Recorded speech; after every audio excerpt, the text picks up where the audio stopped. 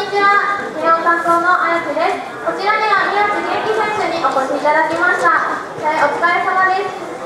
えー前回の国士舘との試合が0対0で終了いたしましたが今回どのような気持ちでこちらの試合挑みましたか前回は結果を残せなくて、えー90分間プレーすることもできなかったのであの今日の試合も使ってくれた監督の期待に絶対応えようと思って挑みました。はい、ありがとうございます。明日4月17日は宮地元気選手の誕生日です。おめでとうございます。えー、20歳を迎えてのこれからの抱負、一言お願いしま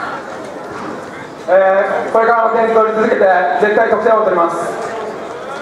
りがとうございます。えー、次節の試合、現在無失点で、えー、と勝利している専修大学との試合ですが、そちらの方の、えー、と意気込みの方お願いします。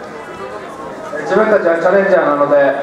えー謙虚な気持ちを忘れず次も頑張りたいと思いますはい、ありがとうございます。それでは最後にベストヒーローの当選者の方を発表していただきたいと思います。えー神奈川県川崎市からお越しの久保山由美子さんですありがとうございますありがとうございます。それでヒーローインタビューの方を終わりにいた、えー、と終わりたいと